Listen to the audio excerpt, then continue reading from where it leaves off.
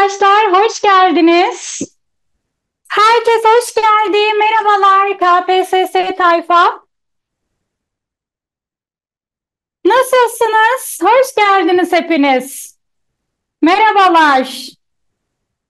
Tekuzem Öğrenci Koçu Rukiye Tuğba Boğa ben arkadaşlar. Hepiniz hoş geldiniz.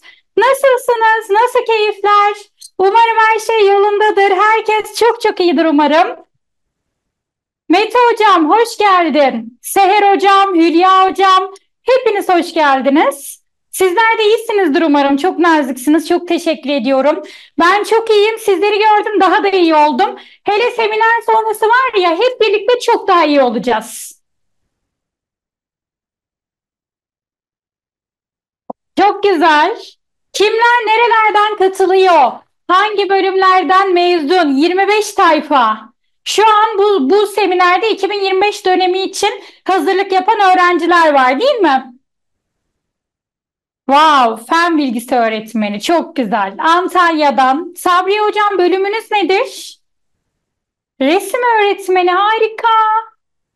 Çok severim görsel sanatlar öğretmenlerini. DİKAP, din kültürü ve ahlak bilgisi, matematik öğretmenlerimiz var. Oo çok güzel. Eğitimciler böyle hepimiz bir araya geldik desenize. Ben de okul öncesi öğretmeniyim Seher Hocam, meslektaş. Sınıf öğretmenimiz var Bedriye hocamız İstanbul'dan katılıyor. Sağlık bilimleri Konya öğrencisiyim. Hülya hocam sağlık bilimleri ön lisans mı lisans mı? Yani siz bu yıl mı gireceksiniz seneye mi gireceksiniz sınava? Çok güzel. Okul önceciler hep birlikte buradayız.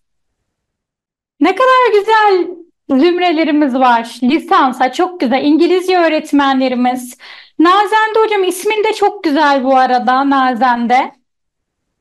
Ve beni hatırlıyorsundur umarım. Ben seninle görüşmüştüm hatırlıyor musun? Asla unutmam. Hiçbir öğrencimi unutmam. Hatta kayıt olmayı düşünüyorsun.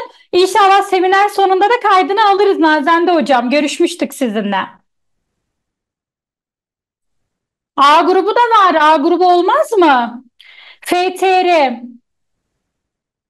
Şöyle Melike Hocam, e, fizyoterapi iki yılda bir alımları olduğu için siz bu yıl gireceksiniz o zaman değil mi? Çünkü e, önümüzdeki sadece öğretmenler ve A grubu öğrencileri bu sınava girebiliyor arkadaşlar. Aranızda 2024 yılı için hazırlık yapanlar var mı peki? Onları da görelim. Parmak kaldırsınlar. 2025 sayfa buradadır diye düşünüyorum. Yok Melike Hocam her yıl sınava girebiliyorsunuz. Ama atamanız iki yılda bir kez gerçekleşiyor. Sağlık Bakanlığı ya. Çok güzel. Hadi bakalım herkes 24 mü 25 yılına mı hazırlandığını yazarken ben de bir yandan bu güzel seminerlerde bu güzel seminerde neler işleyeceğiz? Hangi konulara değineceğiz? Bunlardan bahsedeyim. Şimdi arkadaşlar bugünkü seminerimizin başlığından da anlayabileceğiniz gibi daha böyle idealist kitle yani sizleri bir araya getirmekti amacım. Çünkü şu an artık yavaş yavaş Temmuz ayına giriyoruz. Ve 2025 dönemi için açıkçası biraz kolları sıvamamız gerekiyor. Özellikle idealist tayfa derece kadro diyorum ben. Yani Haziran'da, Temmuz'da başlayan gerçekten verimli bir süreç ilerletirse çok rahatlıkla istediği sonuca ulaşabilir. Bunun için de arkadaşlarım çalışmalarımıza nereden başlayacağız? Hep bana sorulan soru ki ben dediğim gibi sizin gibi öğretmenim. Aynı zamanda öğrenci koçuyum. Çok uzun yıllardır tek uzamda hem eğitim uzmanlığı hem koçluk yapıyorum. Ve e, günlük yaptığım görüşmelerde de 2025 sayfadan en çok aldığım soru arkadaşlar. Hocam nereden başlayacağım? Nasıl başlayacağım? Sınavı tanımıyorum hocam. Kendimi tanımıyorum. Bir çalışma programım yok. Bana program lazım.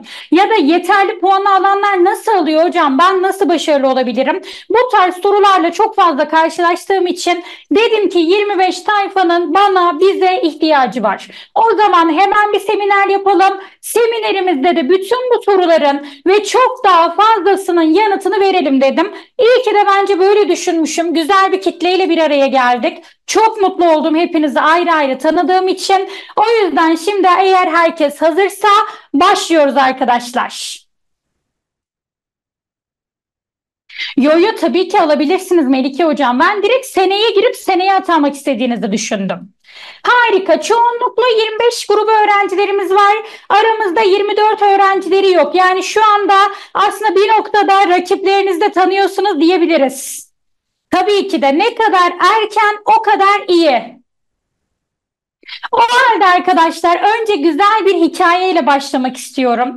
Çünkü şu an biliyorum hem bu tasarruf haberleri, çevremizdeki kişiler, belki bizler de çok fazla daha önce denedik, oldu, olmadı, kaçırdık gibi gibi gibi. Olumlu da olumsuz da tecrübelerimiz var. Evet size çok iyi anlıyorum. Ama istiyorum ki artık 2025 döneminde yani bu yıl başlayacağınız hazırlık sürecinin sonunda bu seminerde olan bütün öğrencilerim istediği sonuca ulaşmış olsun. Hepsinin inşallah atanma haberini alayım. Size çok kısaca bambu ağacının hikayesinden bahsetmek istiyorum arkadaşlar. Bakalım kendinizle bağdaştıracak mısınız? Bambu ağacı şöyle yetiştiriliyor. Belki içinizde bilenler de vardır bu arada bu hikayeyi ya da yetiştiriciliğini bilenler de vardır. Önce ağacın tohumu ekiliyor arkadaşlar. Sulanıyor, gübreleniyor. Birinci yıl tohumda herhangi bir değişiklik olmuyor. Bak bu kadar emek veriyorsun herhangi bir değişiklik yok. Gözle görülen bir değişiklik yok. Tohum yeniden sulanıyor, gübreleniyor ve bambu ağacı ikinci yılda toprağın dışına filiz vermiyor. İkinci yılda da herhangi bir değişiklik görmüyoruz. Üçüncü ve dördüncü yıllarda her yıl yap, yapılan işlemler yani sulanma ve gübrenme işlemleri tekrar ediliyor ve bambu tohumu sulanıyor, gübreleniyor. Fakat inatçı tohum bu yılda filiz vermiyor. Bak bir, iki, üç, dört, dört yıl gözle görülen bir değişiklik yok. Büyük bir sabırla Beşinci yılda bambuya su ve gübre verilmeye devam ediliyor. Nihayet beşinci yılın sonlarına doğru bambu ağacı artık yeşermeye başlıyor. Altı hafta gibi kısa bir sürede yaklaşık 27 metre boyuna kadar ulaşıyor. Peki arkadaşlar bu hikayeden yola çıkarak aklımıza gelen ilk soru şu. Bambu ağacı 27 metre boyuna 6 haftada mı yoksa 5 yılda mı ulaşmıştır? Herkesten yanıt bekliyorum. Hadi bakalım.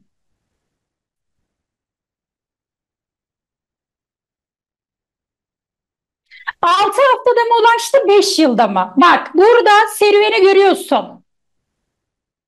Tabii ki de 5 yılda ulaştı değil mi arkadaşlar? 5 sene. Yani demem o ki belki şu an 2025 dönemi için ya da Melike Hocam gibi belki aranızda 26 hazırlanan öğrenciler de vardır. Yani gelecek bir zamana yatırım yapmak belki şu anda hemen sonucunu alamadığımız için içsel olarak bizi çok teşvik etmiyor olabilir. Ben hak veriyorum size, empatik yaklaşıyorum. Dediğim gibi ben de sizdenim arkadaşlar. Ben de bir öğretmenim. Bu süreçleri geçiren bir öğretmenim. Çok iyi biliyorum. Aynı psikolojileri hepimiz yaşadık. Empatik yaklaşıyorum bu noktada. Belki çok uzun bir süre var. Öteleyeceğim. Aman hocam tasarruftur, Milli Eğitim Akademisidir, mülakattır, odur, budur, şudur. Belki önünde çok büyük dağ gibi gördüğün engeller var ama bana güvenin onların hiçbiri dağ değil arkadaşlar. Küçük birer tepe. Sadece bakış açısı. Doğru yerden bakarsan doğru şeyi görürsün. Şimdi bir öğrencimiz sormuş. Milli Eğitim Akademisi ile ilgili neler düşünüyorsunuz diye. Şimdi Milli Eğitim Bakanımız Yusuf Tekin hocamız öğretmenlik meslek kanunu ile beraber Milli Eğitim Akademisi'nin kurulacağını evet açıklamıştı arkadaşlar. Ve akademiye de atama bekleyen öğretmenlerin gireceğini belirtmişti. Yani sizlerin belki daha önce girdiyseniz puanınız varsa kadro bekliyorsanız sizler. Öğretmen akademisine girişlerin KPSS puanı ile olması ve 24 KPSS puanı ile alımların başlayacağını, 550 saatlik bir eğitimden başarıyla çıkan öğretmenlerin atanmasını bekli atanmasını beklediğini söyledim. Yani 550 saatlik bir eğitim alacaksınız arkadaşlar ve içeriğine dair henüz herhangi bir açıklama yok. 14 ilde Mart ayından itibaren Milli Eğitim Akademilerinde eğitiminin başladığı söyleniyor. Akademinin daha çok Ankara, İstanbul, İzmir gibi büyük şehirlerde açılması bekleniyor. Size de bu şekilde yanıt vermiş olayım hocam. hayır hayır Melike hocam öyle düşünmeyin. Şimdi geldim. Siz KPSS çalışmaya şimdi başlarsanız, sabırla bu iradeyi devam ettirirseniz, bir yılın sonunda bambu gibi başarınızı göklere çıkarmaz mısınız arkadaşlar? Kendinizi bir bambu ağacı gibi görün. Şu an suluyorsun, gübre, gübreliyorsun, suluyorsun, gübreleniyorsun ve bir yılın sonunda çat Puan bir açıklanıyor 95. Biz sana güle güle diyoruz. Hayırlı olsun diyoruz. O yüzden hedef 2025. Hedef KPSS'de atanmak ve bu yüzden de çalışmalarımıza hemen şimdi şu an başlıyoruz. Peki içimizde yoğunluklu olarak hocalarımız var. A grubu öğrencilerimiz var ve yalnızca genel kültür, genel yetenekten giren öğrencilerimiz de var. Sınavı ne kadar tanıyoruz arkadaşlar? Kimler bu sınava kaç kere girdi? Hadi herkes bir kendi deneyimlerinden bahsetsin. En çok tanıyan kim aramızda? Onu seçelim. Emrecan Hocam bekçi olmak için genel kültür genel yeteneği hazırlanman gerekiyor. KPSS. Kimler bu sınavlara girdi? Kaç puan aldı? Nasıl hazırlandı? Seher Hocam bir kere girdi. Sibel Hocam hiç girmedi ama yanında abisi çalıştı. Oradan deneyimi var. 8 yıl geçti Halime Hocam'ın me mezuniyetinin üzerinden. İki kere girdim. E, ikisinde de 86 aldım. Melike Hocam çok güzel bir puan almışsın. Tebrik ediyorum. Ama tabii bölümünden dolayı bir tık üstü hocam. Biraz daha zorlasan olacak. İki kere girdi. Fatma Nur hocam üç kere girdim. Geçen sene çok güzel bir çalışmayla girdim fakat depremden ötürü çok baş çok boşladım. En son 65 aldım. Ay Fatma Nur hocam sen de bayağı güzel bir puan almışsın. Çünkü bölümün görsel sanatlar yani ortalama 70-75 bandı sana yetiyor. Bir tık hocam yani biraz daha üstüne düşsen 25'te kesin atanırsın. İnşallah doğru ve verimli çalışırsak tabii ki de. Hocam ben bu yıl denemek için gireceğim ama gelecek yıl konsantre ol. Ya kesinlikle zaten Mete hocam bak bu yıl gir. Girme değil. Eğer başvuruda bulunduysan zaten yaklaşık 15 gün 20 gün sonra sınav var. Ama görünen köyde kılavuz istemez. Eğer e, atanmak için yeterli çalışmayı, yeterli disiplini sağlayamadıysan 25'e hemen şimdi başla. E ona başlamışken zaten 24 için gerekli altyapıyı oluşturmuş oluyorsun. Çok güzel. Hemen ben bir şu KPSS nedir? Bununla alakalı minik bir bilgilendirme yapayım. Birçoğunuz zaten girdiniz biliyorsunuz. Arkadaşlar KPSS'nin aşamaları var. Öğretmenler 3 farklı ÖABT'si olanlar 3 farklı sınava giriyor. GGK eğitim ÖABT'ye giriyor.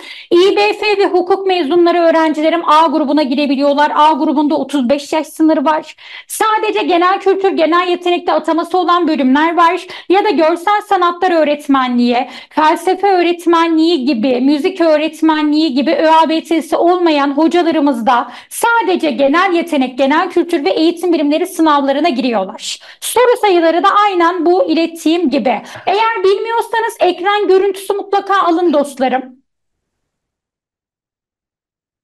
Melek Hocam muhasebe ve finansman öğretmeniyim. 6 yıldır sınava giriyorum. Ama maalesef hiç atamamız olmadığı için 25 yılında wow Melek Hocam çok iyi yapıyorsun. Okul öncesi bir tık daha evet yüksek. E, üç sınava hazırlanacaksın hocam. GGK, eğitim ve ÖABT'ye. Peki arkadaşlar şimdi en çok aldığım özellikle bu son bir, bir buçuk ay falan oldu galiba. E, bakanımız açıklama yaptıktan sonra hani bir de bir biraz yanlış anlaşılma da oldu. E, işte tasarrufa gideceğiz, üç yıl alım olmayacak falan gibi söylentiler var. Hatta sadece işte emekli olanların yeri doldurulacak, sadece Sağlık Bakanlığı'ndan alıma yap, alım yapacağız falan gibi. Biliyorum bunlar size direkt down etti yani düştünüz. Direkt düştünüz. Hatta ben şöyle öğrencilerle bile konuştum. Hocam bu haberi duydum bıraktım. Ne zamandan beri çalışıyordum dedim. Eylül'den beri. Yani kendini bu ihaneti etmiş. Arkadaşlar unutmayın ki her krizin her krizin içerisinde bir fırsat vardır. Az önce ne dedim? Nereden baktığın çok önemli. Bak bu bir kriz. Şu an kriz ortamı var mı? Var. Herkes girsem girmesem olsa olmasa ya sen o herkes o krizdeyken fark yaratmak istiyorsan o topluluktan çıkacaksın. Arkadaşlar diyeceksin kim ne derseniz kim ne derse desin atama olacak mı? Olacak. Az mı olacak? Önemli değil. Ben o azınlığın içerisine gireceğim. Anlaştık mı? Bakın hedefiniz bu. Yoksa her bir haberde öyle düşelim. Motivasyonumuz düşsün, bırakalım, vazgeçelim olmaz. Birileri kazanacak. Ben istiyorum ki o birileri siz olun. Neden olmayasınız? Şimdi kamu tasarruf tedbirleri kapsamında emekli olanların yerine alım yapılacak olması nasıl bir etki yaratacak sizin için bunu araştırdım. Açıklanan tasarruf tedbirlerine göre dostlarım 3 yıl boyunca emekli olanlar kadar yeni personel istihdamı sağlanacak ve açıktan atama izinleri bütçe kanununda belirlenecek. Yani açıktan atama olmayacak diye bir kaydı yok. Bütçeye göre belki bir tık daha az olacak, belki de yine yüksek olacak bilemeyiz. Bu sebeple alım olmayacak düşüncesine kesinlikle kapılmayın. Örneğin eskiden 80 puan hedefliyorken e, eskiden senin bölümün 80 puanla atanılabilen bir bölümse 2025 yılı için hedefini 90 yapacaksın. Ol, olacak bitecek. Hedefin 80 iken 90 olacak ve bu puanı almak zor değil. Alanlardan hiçbir farkınız yok. Atananlardan hiçbir farkınız yok. Onların sizden hiçbir üstünlüğü yok dostlarım. 2023 yılında mesela bu yıl 24 yılında atama olacak ya o zaman ne kadar öğretmen emekli oldu? Özellikle öğretmen yoğunluğu fazla olduğu için öğretmenlerimizi ele aldım. 2023 yılında Milli Eğitim Bakanlığı'nda emekli olan ve vefatla istifa sebepleriyle ayrılan toplam öğretmen sayısı 23.670 ve 2023 yılı için öğretmen atamalarında açılan kontenjan sayısı da 20.000. Al Bak nasıl karşıladı. Belki daha fazla kişi emekli olacak daha fazla alım yapılacak ya da en kötü bu kadar seneye de diyelim ki alım yapılsa sen o 20 bine gireceksin. Kendi branşında bin kişi mi atanıyor? İlk bine gireceksin arkadaşlar. Başka bir çözüm yolu yok. Kendinizi kesinlikle düşürmüyorsunuz. İnancınızı hiçbir zaman yitirmiyorsunuz. Bir alım bile olsa belki o, o kadroya belki o bir alıma siz atanacaksınız. Tek yapmanız gereken kendinize inanmak ve pes etmeden sınav için elinizden geleni yapmak. Mesela 2022 döneminde arkadaşlar bundan iki yıl önce nakış öğretmenliği diye bir bölüm var. Belki içinizde bilenler, duyanlar vardır. Ee, çok popüler bir bölüm değil. Üniversitelerde de çok büyük bir popülaritesi ya da çok tercih edilen bir bölüm değil. Haliyle devlette, kamusal alanda çok da yeri olan bir bölüm değil. Yani yıl mesela yılda 5 kişi, 10 kişi, belki bir kişi, belki de hiç ihtiyaç duyulmayan bir bölüm. Bizim bu bölümde arkadaşlar 2022 döneminde birlikte çalıştığımız bir hocamız vardı. Ve hocamız bizimle alakalı görüşme yaparken, bilgi almak isterken müthiş olumsuz. Hocam bizde alım yok, düz memur mu olsam, o mu olsam ya da ben direkt memurluktan vaz mı geçsem hocam, şöyle pişmanım, böyle pişmanım, şu bölümü okusaydım gibi gibi görüşme böyle geçiyor. Gayet olumsuz bir yaklaşımı var ve dedim ki hocam siz bir öğretmensiniz. Bir öğretmenin yeri neresi arkadaşlar? Öğrencilerinin yanı değil mi? Soruyorum size. Bir öğretmenin yeri memur olmak mı, düz memur olmak mı, masa başı mı? Değil. Bir öğretmenin yeri sınıftır. Öğrencilerinin yeridir. Dedim ki öğretmensiniz ne olursa olsun bizimle birlikte yola çıkın. Birlikte hareket edelim, birbirimizi düşürmeyelim. Belki alım olur, belki olmaz. Belki yüksek olur, belki düşük olmaz. Bunu kimse göremez. Bu bir öngörü, öngörüyle de olabilecek bir şey değil. Ama biz bütün tedbirlerimizi alalım hocam, size öğrencilerinize kavuşturalım dedim. Ve öğrenci kayıt oldu genel kültür, genel yetenek eğitim birimlerine. O yılda şansına bir tane kontenjan açıldı arkadaşlar. Bir kişi alınacak ve o bir kişi bilin bakalım kim? Tabii ki de bizim öğrencimiz. Yani demem o ki bir kişilik bir kontenjan bile olsa sen gereken özgüvenle, gereken verimlilikle çalışırsan o bir kişilik koltuğa o bu şu değil sen yerleşirsin. O yüzden önce kendinize inanacaksınız. Başaracağınıza güveneceksiniz arkadaşlar. Buyurunuz canlı kanlı örneği. Bir kişilik kontenjan ona bizim öğrencimiz yerleşebiliyorsa siz de bunu başarabilirsiniz. Peki bir bakalım. Henüz evet erken. Bir yıl var, bir rehavet de var. Aman hocam yazdır, sıcaktır, 24 bir geçsin. Bir atama yapılsın, odur budur bekliyor olabilirsiniz. Beklemeyin arkadaşlar. Bakın bu cümlemi e, aklınıza getirirsiniz. Bundan 2-3 ay sonra geç başladığınızda ya Tuğba hocam böyle böyle demiştik keşke dinleseydim. Şu an 5 konu daha önde olurdum diyeceksiniz. Lütfen kulağınıza küp olsun. Çünkü yılların deneyimi arkadaşlar. Ben her yıl erken kayıt sürecinin her ayına şahit oluyorum. Her ayındaki öğrenci psikolojisini çok iyi biliyorum. Kaldı ki bizim kurumumuzun 200 binin üzerinde kayıtlı öğrencisi var. Biz 10 yıldır bu işi yapıyoruz. Binlerce öğrencinin hedeflerine ulaşmasında başroldeydik. Yardımcı olduk, birlikte çalıştık. Çok iyi biliyorum ve şu an tam zamanla. Bakalım bakalım içimizde şu an bir sınav olsa kimler kazanabiliyor, kimler atanabiliyor? Eğer hazırsanız arkadaşlar sizin için bir atanma testi hazırladım. 6 tane soru soracağım. Bu 6 soruya evet ya da hayır diyeceksiniz. Not defteriniz ve kaleminiz yanınızdaysa oraya yazabilirsiniz. Yoksa chat panelini bunun için kullanabilirsiniz. Eğer hazırsanız başlıyoruz. Sorumuz 1. Verimli çalışma yöntemi nedir biliyor musunuz? Ve kendi verimli çalışma yönteminizi biliyor musunuz? Herkesten yanıt bekliyorum. Nedir bu verimli çalışma yöntemi? Kimler biliyor? Yanıtları okuyorum. Melek hocam diyor ki hocam ben bilmiyorum. Tamam. Fatma Nur hocam diyor ki istikrarlı ve düzenli çalışmak verimli çalışmaktır hocam diyor. Başka? Yok mu arttıran? Hadi enerji istiyorum. Vardır illaki fikirleriniz. Hele hocalarımdan daha çok yanıt bekliyorum. Bir öğretmen olarak bence yanıt vermeliyiz. Alime hocam diyor ki kendi öğrenme yönteminize göre çalışmak. Alime hocam sen bizim kayıtlı öğrencimizdin değil mi? Din kültürü ve ahlak bilgisi öğretmenisin. Seni hatırlıyor gibiyim. Hatta kaydını da ben almıştım.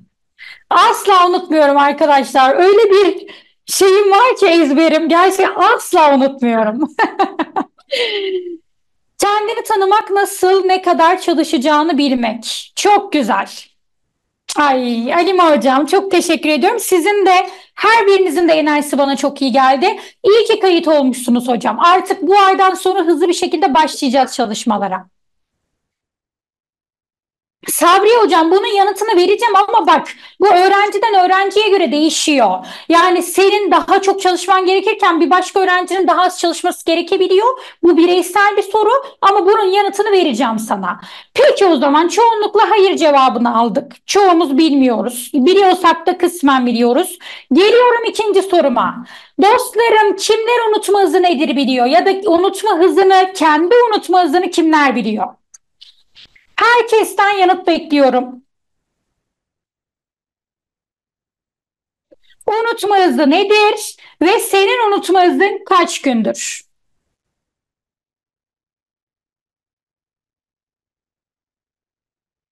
Hayır mı? Tamam.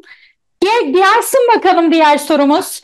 Arkadaşlar sizin için hangi konunun hangi öncelikte olduğunu biliyor musunuz? Eğer biliyorum derseniz örneklendirmenizi isteyeceğim. X konusu önemlidir Y konusundan. Evet yine hayır cevapları gelmeye başladı. Bilen var mı peki? Evet konu.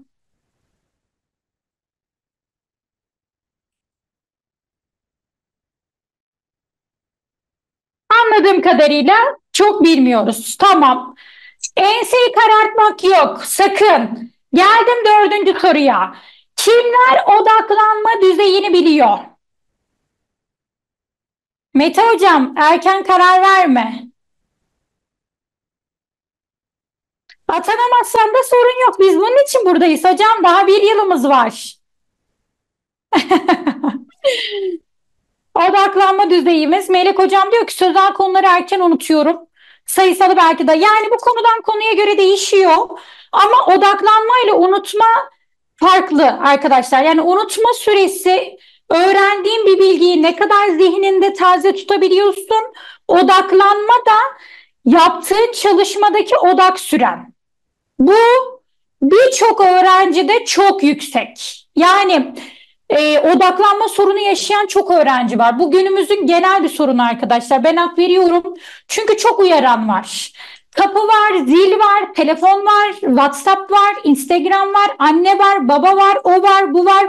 O yoksa bile Zihnini durduramıyorsun. Onu mu demeliydim, bunu mu yapmalıydım, şunu mu giymeliydim, şuraya gideyim, bunu yapayım, ya atanırsam, ya atanamazsam, nereye atanayım, oraya gideyim, bunu yapayım, şu şu kadar net yapmış. Kendi kendinin de dikkatini çok dağıtıyorsun. Buna da değineceğiz. Hiç merak etmeyin ama anladığım kadarıyla çoğumuz bu sorunu yaşıyor. Geldim beşinci soruya. Sabri Hocam burada mısın? Bir soru sormuştun bana. Günde kaç saat çalışmam gerekiyor hocam? Şu an başlasam kaç saat çalışabilirim demiştin. Var mı bunun yanıtını bilen?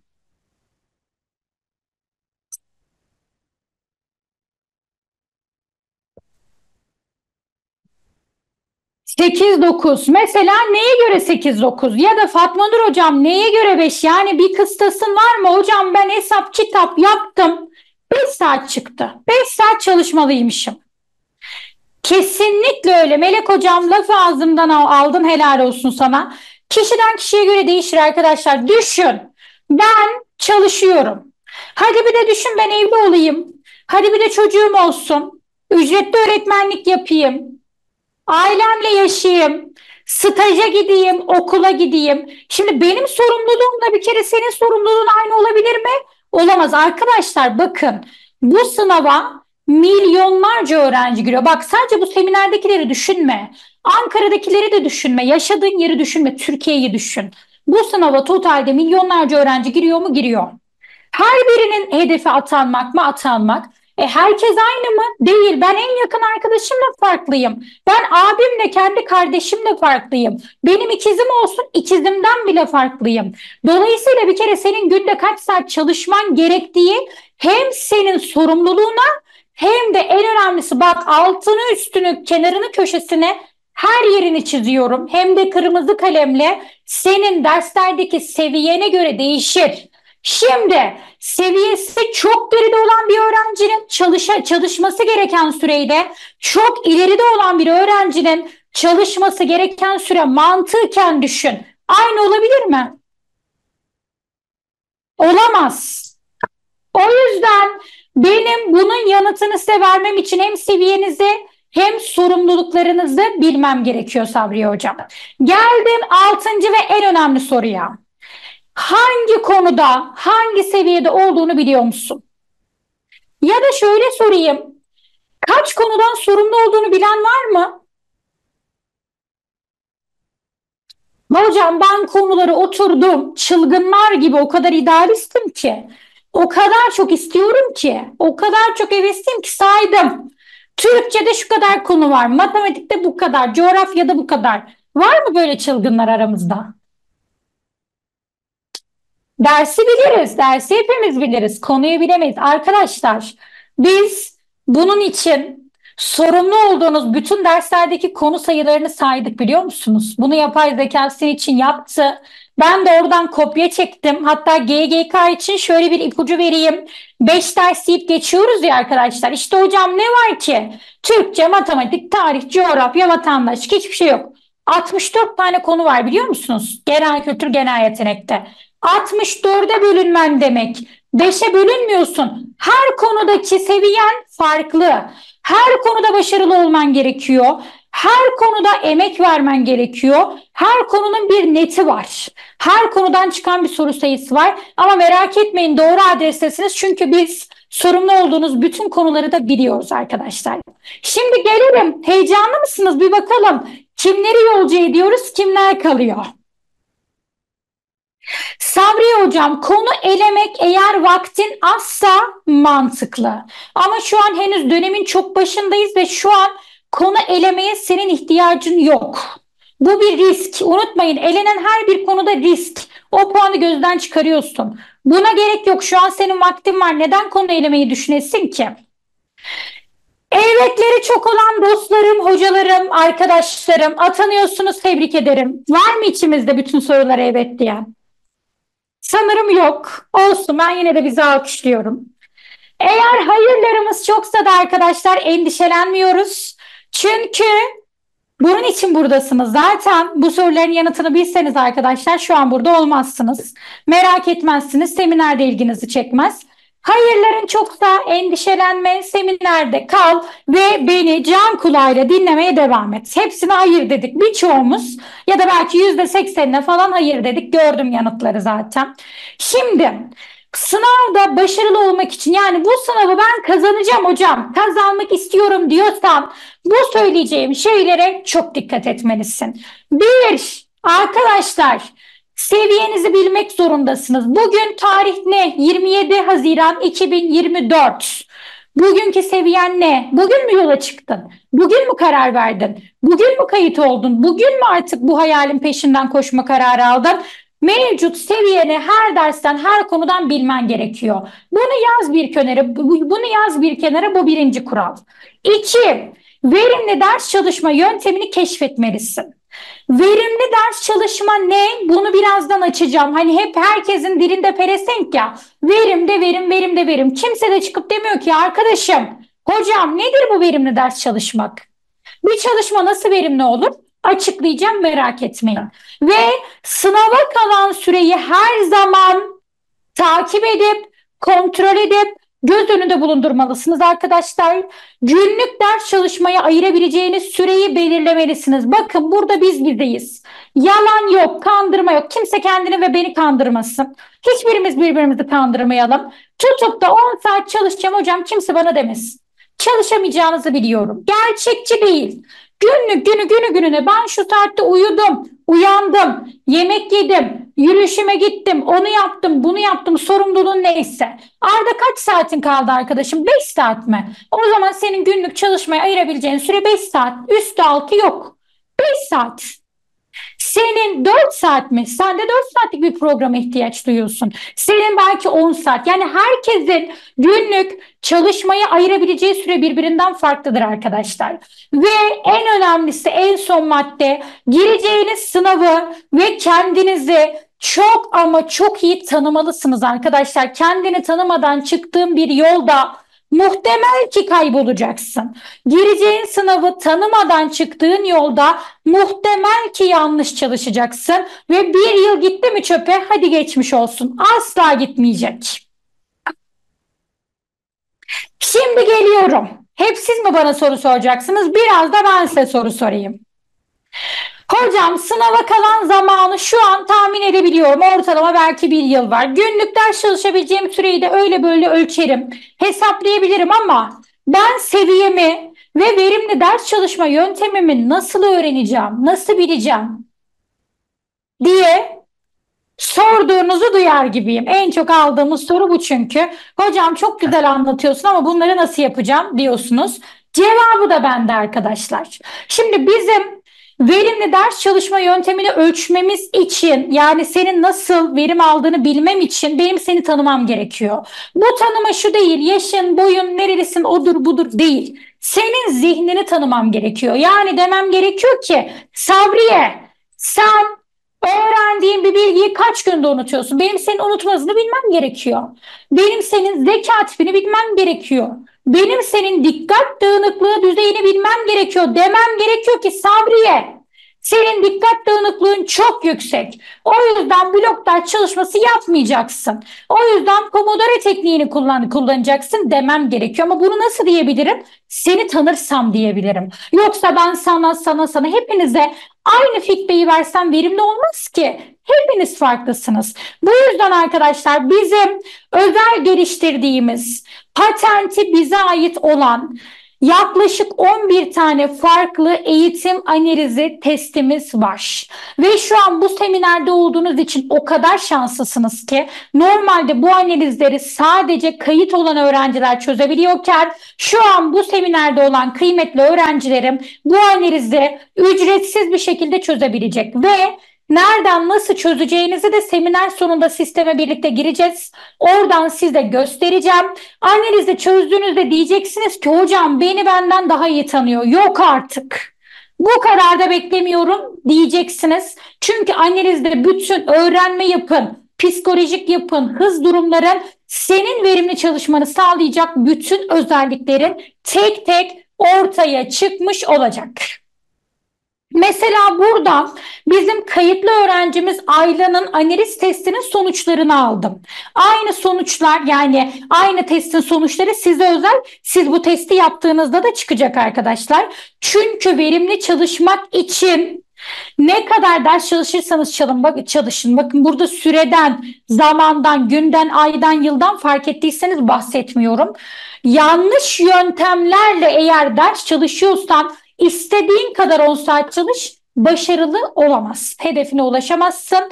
Bir konuyu öğrenmen için önce kendi ders çalışma stilini keşfetmeli, kendi öğrenme yapını öğrenmeli ve oradan çıkan sonuçlarına göre sana özel hazırlanan bir ders çalışma programıyla çalışmalarına devam etmelisin. İşte bu sana özel kısmı bu analize girdiğinde hepsi çıkacak. Mesela aile sizin öğrenciniz olsaydı sen koçsun, Ayla da öğrencin. Sonuçları geldi elinde kan raporu gibi düşün. Raporun elinde. Aileye ne söylerdin? Herkes bir yorumlasın bakalım. Ayla sizce nasıl bir öğrenci? Herkesten yanıt bekliyorum. Mesela bazıları yeşil çıkmış, bazıları kırmızı, bazıları mavi. Bunlar ne ne ne olabilir? Nasıl bir yönlendirme yapardınız aileye?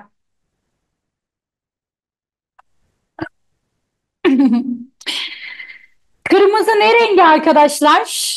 Alarm rengi, harekete geçirici bir renk. Yani kırmızılar çözülmesi gereken kısımlar. Aynen. Ailenin hangi özellikleri kırmızı? Unutma kırmızı. Yani diyor ki aile senin unutma yüksek. unutma yüksek ne demek dostlar? Çabuk unutuyorsun demek. Sık tekrar yapmalısın demek. Ailenin stresi yüksek. Mete hocam diyor ki aileye bir antidepresan. Çok tatlısınız gerçekten, gerçekten. Değil mi? Kediler de iyi geliyor bu arada. Antidepresan yerine kedi verelim aileye. Arkadaşlar stres neden yüksek olur? Ders çalışan bir öğrencinin stresi neden yüksek olur? Siz de bunu biliyorsunuz, yaşadınız. Ben söyleyeyim mi? istediği sonuca ulaşamayacağını düşündüğü için stresli, stresli olur. Yani programsız öğrenci streslenir. Benim önümde aracım var, navigasyonum var, şoförüm var, yolcum var. Ne zaman çıkacağım belli yola.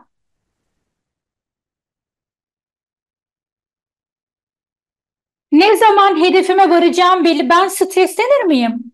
Bence streslenmem. Ama ben gidip de Sokağa çıktım. Ankara'dayım. Ya ben bir İstanbul'a gideyim. Neyle gideyim? Otostopla. Sen streslenirsin işte. Çünkü bu doğru bir yöntem. Otostop. Kim gelecek belli değil. Ne zaman gideceksin belli değil. Güvenli mi belli değil. İşte ders çalışmak da böyle. Bak program. Programı düşün. Özel bir uçak bileti ya da özel bir otobüs biletin var. Her şey belli. Streslenmezsin. En fazla dersin ki Allah beni sağ salim oraya vardırsın. Ama diğerinde güvensiz. Yarısını yürüyorsun, yarısında otostop çekiyorsun. Adam belki seni arabadan indiriyor. Ben buraya kadar geleceğim kardeşim diyor. Öbür yarısını nasıl gideceğim belli değil. Ders çalışmak da böyle. Şu an 12 ay var. Senin 12 ayda ne yapacağın şimdiden belli olmak zorunda. Ne yapacağın belli değilse zaten streslen. Bak aile de böyle çıkmış. Şimdi geliyorum arkadaşlar. Ne dedim? Önce verimli çalışmayı keşfedin dedim. Bunu analizlerle çözeceğiz mi? Çözeceğiz. Okey. Peki hocam bu kadar konulardan bahsettiniz. Bu kadar derslerden bahsettiniz ama her dersteki seviyemiz farklı. Evet buna da okey. Bunu hepimiz biliyoruz zaten. Her derste her öğrenci çok başarılı ya da başarısız olamaz. Her derste her öğrencinin seviyesi farklıdır. Peki ben bu seviyemi nasıl ölçeceğim? Ya da seviyemi ölçtükten sonra hangi seviyedeysem o seviyeye uygun nasıl bir çalışma yapacağım? diye soruyor olabilirsiniz. Yine bu en çok gelen sorulardan biri bu arada bize. Ben bunun için bir tablo hazırladım arkadaşlar. Hatta bunu bu sayfanın ekran görüntüsünü alın, screenshot'ını alın. Çok işinize yarayacak. Çünkü biz bu tabloya e, tek uzam jargonunda diyoruz ki garanti öğrenme modeli. Yani bir öğrenci bir bilgiyi garanti bir şekilde öğrenmek istiyorsa seviyesini ölçmeli, seviyesine göre de bu seviyesinin karşılığında olan içerikleri uygulamalı diyoruz. Bunu sadece uygulayan biziz arkadaşlar. Bakın istediğiniz kadar dershaneye gidin. Farklı kurumlara gidin size yapacakları tek şey ne biliyor musunuz? Konu çalıştırıp soru çöz. Konu soru, konu soru. Yani öğrenmeyi iki basamağa indiriyorlar. Ama öğrenme iki basamak değil, öğrenme beş basamak. Bir konuda seviyen çok temelse başka, e, başlangıçsa başka, ortaysa başka, ileriyse başka, üst seviyede ise başka. Mesela içinizde okul öncecilerim, din kültürü öğretmenlerim, sayısal branş öğrencilerim, matematikte seviyeniz sizce bu beş seviyeden hangisidir? Hangisi matematikte seviyeniz? Herkes matematikteki seviyesini yazsın.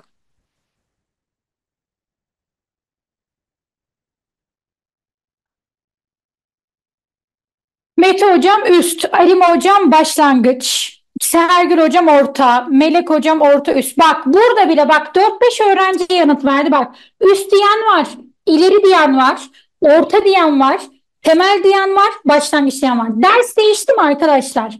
Ders hepimiz için matematik doğru mu? Ama senin seviyene göre yapacağın çalışma değişti. Alime hocam temel seviyede. Ne diyor yapay zeka? Temel seviyedeysen ön hazırlık yapacaksın diyor. Nedir bu ön hazırlık? Temelin olmadığı derslerde ders öncesi o dersi özetleyen, önemli olan kısımların vurgulandığı basit basit içerikli yaptığın hazırlık. Ama Mete hocam fen bilgisi öğretmeni ve sayısalı çok iyi üst seviyede soru çözecek. Ders değişmiyor, öğrenci değişiyor, öğrencinin seviyesi değişiyor. Eğer öğrencinin seviyesi değişiyorsa sen öğrenciye seviyeye özel bir eğitim vermek zorundasın. Peki bunu veren var mı arkadaşlar? Hiç duydunuz mu? Şöyle bir reklam gördünüz mü? Biz seviyeye özel eğitim veriyoruz. Ya da hiçbir dershane diğer kurumlarla görüştünüz mü? Hocam ben senin seviyeni ölçeceğim. Ona göre sana eğitim veren diyen var mı? Duyan var mı? Görüşen var mı? Yok. Evet arkadaşlar yok çünkü garanti öğrenme modelinin patenti de bizde. Yani biz bu öğrenmeyi 5 aşamaya bölüp 5 aşamanın karşılığında da öğrencinin seviyesine göre özel çalışma yaptıran tek eğitim kurumuyuz. Bizim diğer bütün kurumlardan ayrılan en ama en özel en önemli özelliğimiz öğrencinin seviyesine göre, öğrenme yapısına göre özel eğitimler uygulamamız, özel programlar yapmamız. Şimdi geliyorum arkadaşlar karşınızda Leyla. Güzel Leyla'mız. Ve Leyla'nın arkadaşlar şimdi bu Leyla diyelim ki mühendis olsun. Sadece genel kültür, genel yeteneğe girsin Leyla. Ve Leyla'nın 5 tane dersi var. Doğru mu? Türkçe, matematik, tarih, coğrafya, vatandaşlık. Bu 5 derste farklı seviyesi var. Ben bu seviyeyi nasıl ölçtüm? Her dersten öğrenciyi seviye belirleme sınavına aldım. Ve sonuçlarına baktım. Dedim ki Leyla sen matematikte temel seviyedesin. Temel seviyede olan öğrenci ne yapıyordu? Ön hazırlık. Yani Leyla benim sisteme kayıt olduğunda ben onu her dersten seviye belirleme sınavına alacağım. Seviyesini ölçeceğim. Seviyesine göre öğrenciye o çalışmayı yaptıracağım. Diyeceğim ki Leyla sana matematikte ön hazırlık yaptırıyorum. Neden? Senin buna ihtiyacın var. Ama Leyla'nın coğrafyadaki seviyesi ileri seviye. Leyla ileri seviyede olduğu bir derste gidip sıfırdan konu çalışır mı? Ya da siz olsanız çalışır mısınız? Mantıklı mı bu? Düşün ki sen geçen yıl coğrafyayı hatmetmişsin, fullemişsin. Gelmişsin bize ya da başka bir yere kayıt olmuşsun dershaneye. Dershanede sana şunu demeyecek ki Mete, coğrafyan çok iyi. Ben sana coğrafyada direkt soru çözümü tekrar yaptıracağım diyecek mi arkadaşlar? Bunu diyen başka bir kurum var mı? Sizi hepsi sıfırdan başlatmıyor mu? Hepsi aynı yerden başlatmıyor mu arkadaşlar? Bizim ülkemizdeki eğitim sistemi, okullar dahi böyle değil mi? Yani geleneksel model. Peki bu geleneksel modelle ben hazırlandığımda atanabiliyor muyum? Hayır. O yüzden atanmak neye bağlı? Bireysel çalışmaya bağlı. Bu sonucu çıkarabilir miyim? Nasıl atanabilirim? Seviyeme özel çalışırsam, kalan zamanı doğru değerlendirirsem, sınavı çok iyi tanırsam, rakiplerimi çok iyi tanırsam, kendi özelliklerimi çok iyi bilirsem ve bunlara uygun bir programla sürekli istikrarlı, kontrollü bir şekilde çalışırsam evet ben atanırım. Peki biz bunu yapıyor muyuz? Yapıyoruz arkadaşlar. Bunu bir öğrencinin tek başına 64 konuda 5 derste diğer konularda yapması, ölçmesi, buna göre program hazırlaması mümkün değil arkadaşlar. Bunu ben yapmıyorum. Bir insan yapmıyor. Bunu bizim yapay zeka sistemimiz yapıyor. Türkiye'de şu an ilk ve tek kez eğitim sürecinde hayata geçirilen tek eğitim sistemi, yapay zeka sistemi sizi seviyenize göre çalıştırıp zamanınızı boşa harcatmayacak, enerjinizi boşa harcatmayacak arkadaşlar. Peki gelelim hocam. Bir program hazırlamak istesek bu programda neler olmazsa olmaz? Program nasıl olmalı?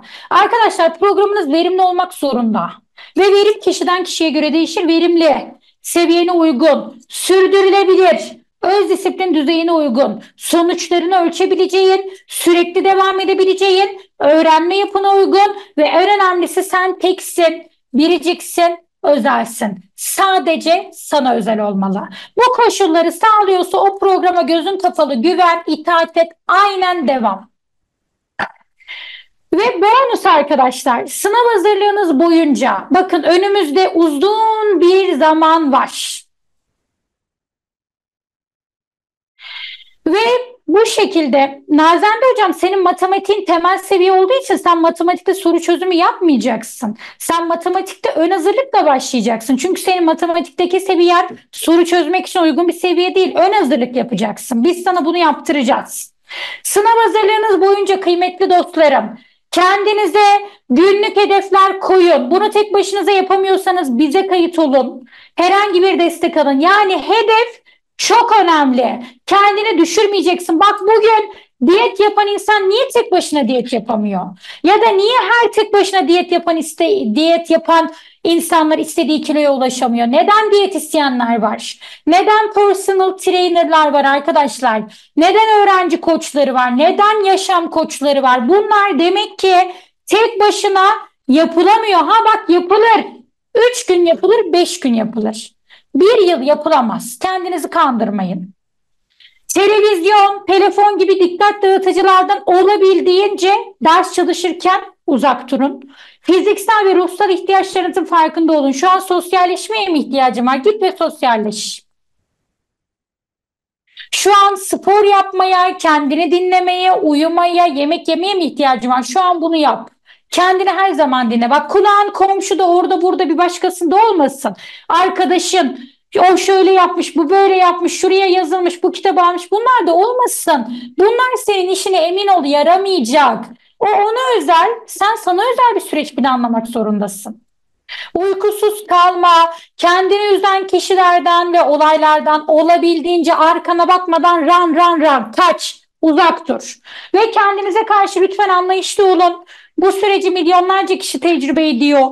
Mükemmelliyetçi olmak bazı noktalarda belirli bir level'da çok güzel ama bu tarz konularda çok büyük bir zarar. Bir kenara bırakın. En iyisini hepimiz hak ediyoruz ama sadece hak etmek yetmez. Gereken çalışmayı yaparsan hak ettiğin hayatı yaşarsın.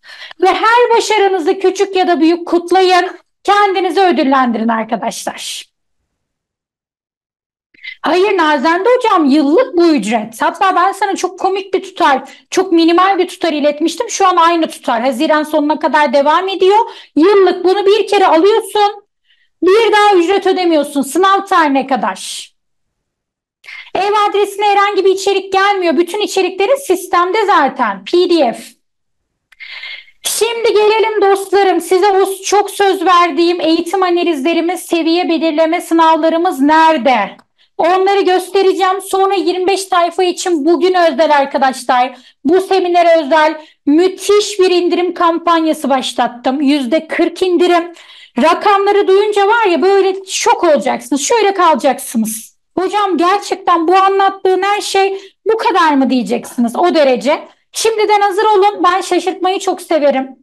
Ama güzel şaşırtmayı tabii ki de. Hemen arkadaşlar sistemime giriyorum. Önce analizlerimizi, sınavlarımızı birlikte inceleyelim. Sonra ben kurslarımızın içerikleri, ücretleri, canlı dersler ne zaman başlıyor, neler var e, bu kursların, bu paketlerin içeriklerinde bunları yanıtlandırıp sonra bir de bu seminere katılan her öğrencime özel öğrenci koçu bir seans görüşme e, şeyi de kaptım, fırsatı da kaptım. Bununla alakalı link de göndereceğim. Linke tıklayan herkes öğrenci koçlarımızda bir seans görüşüp istediği soruyu sorup sonrasında kayıt olabilecek. Şimdi kullanıcı adım 2025 KPSS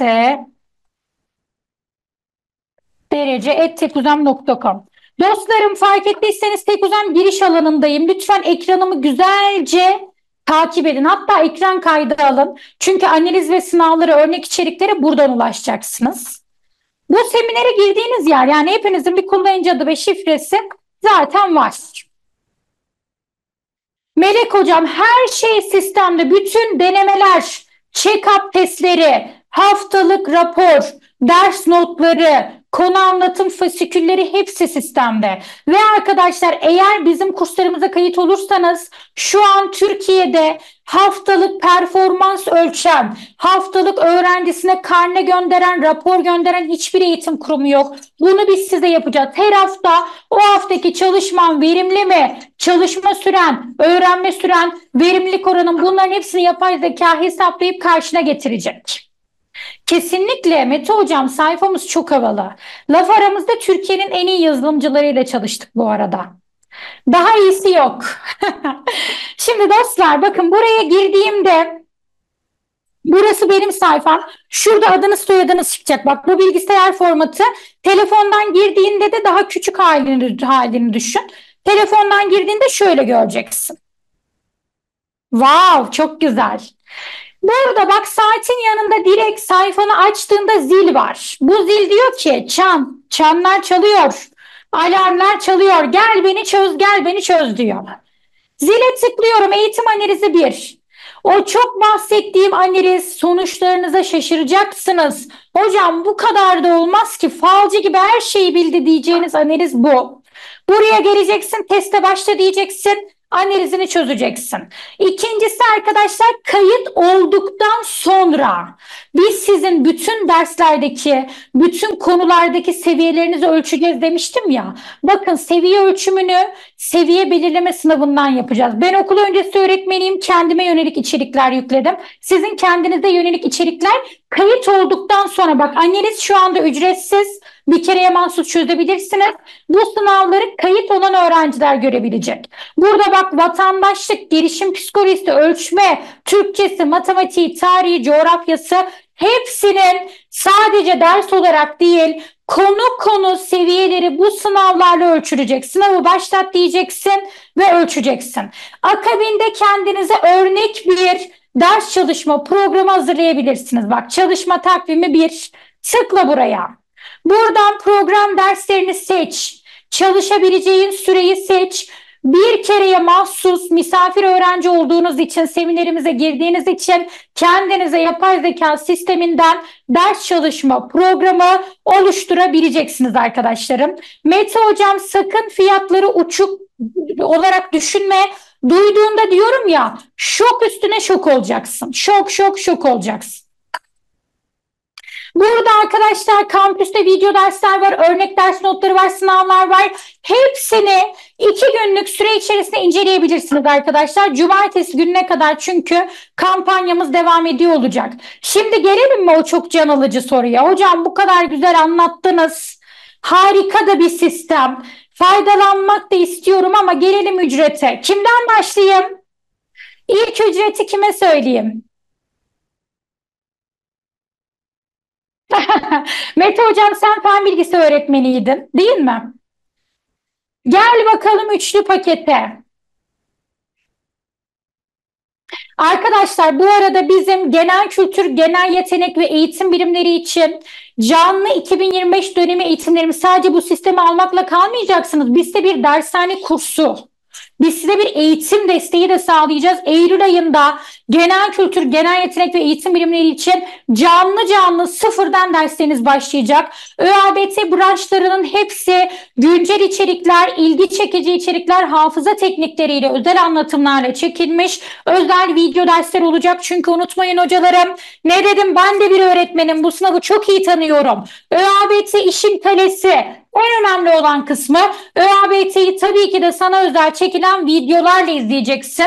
ÖABT'lerin hepsi video, genel kültür, genel yetenek ve eğitim bilimlerinin hepsi canlı olacak. A grubu da canlı dostlarım ve kursu satın alan her öğrenciye yapay zeka sistemi bir yıl boyunca hediye arkadaşlar. Bu az önce saydığım bütün programın takibin, verimli çalışman, seviyene göre çalışman, haftalık raporun, konu tarama testlerin her şey dahil olacak. Şimdi burada tek tek sepete yüklediğinde bütün ÖABT'ler tek başına 2099 lira arkadaşlar.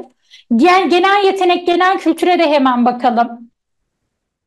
Sonra toplam tutarından yani o üstü çizili tutardan yüzde 40 indirimle kayıt olmuş olacaksınız. Bakın şu an normalde sadece GGK 3965 lira.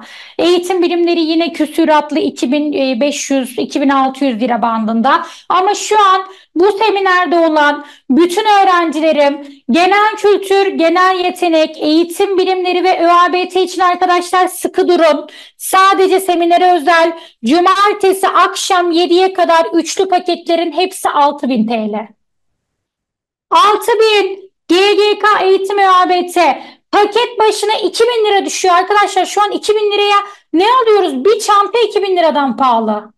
Bir yıl boyunca sadece bir kere ödüyorsun ve güzel haberlerim bitti mi? Hayır, 25'i satın alan öğrencilerime 2024 döneminin bütün eğitimleri ücretsiz hediye. Yani sizce ben sizi yaz döneminde rahat bırakır mıyım? Bırakır mıyım o tatillerde sırat? Asla. Minik minik kayıt olur olmaz 24 videolarıyla başlatacağım. Canlı dersler başlayana kadar 24 ile birlikte başlayacaksınız arkadaşlar. Üçlü paket 6000 TL. A grubundan hazırlanan öğrencilerim vardı. A grubu artı B grubu ikisi de canlı. A artı B canlı. İkili paket indirimli tutarı 9000 TL. Sadece genel kültür, genel yeteneği hazırlanan öğrencilerim için genel kültür, genel yetenek paketi bu seminere özel 3000 TL. Eğitim bilimleri paketi bu seminere özel 2500 TL. İçinizde Fatma Nur Hocam gibi ikili paketi hazırlananlar vardı. GGK eğitim bilimleri. Arkadaşlar ikili pakette de ben size 4500 liradan yardımcı olacağım. Gerçekten çerez fiyatı. Bakın bu yanlış anlaşılmasın 24 fiyatı değil. 2025'ten bahsediyorum. Sıfırdan başlayacak kurs artı 24 de hediye ve Türkiye'de ilk ve tek kez hayata geçirilen yapay zeka sistemi de hediye arkadaşlar. Bence bu fırsatı kesinlikle kaçırmayın. Şimdi sistem yöneticimden rica ediyorum. İndirimden faydalanmak, öğrenci koçuyla bir seans görüşmek, sorularını sormak, detaylı bilgi almak isteyen öğrencilerim için ki bence hepiniz şu an bu seminere giren, bu saate kadar beni dinleyen, bu saate kadar seminerde kalan öğrenci bence kayıt olsun. Sonra pişman olursunuz arkadaşlar. Çünkü cumartesi gününden sonra ücret değişecek. %20 fiyatlar artacak. Erken kayıt süreci yavaş yavaş sonlanıyor. Sistem yöneticimden linki paylaşmasını rica ediyorum.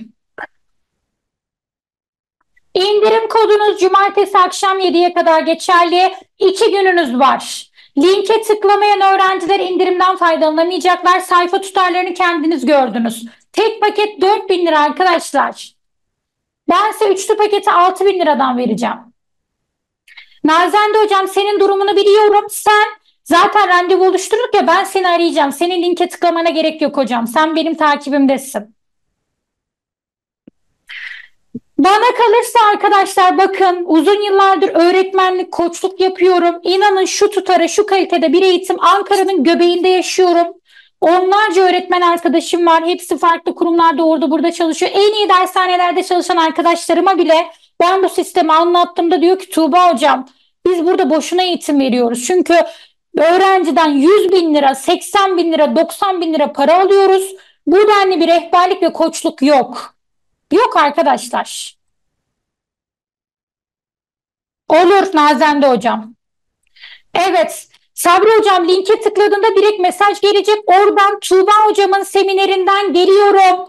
İndirimden faydalanmak istiyorum. Yazın hemen öğrenci işlerim sizi arayacak. Cumartesi gününe kadar ödemeyi yapma hakkınız var. Ödeme için randevulaşırız. Ama bu indirimden, bu sistemden faydalanmak için arkadaşlar linke tıklamanız gerekiyor.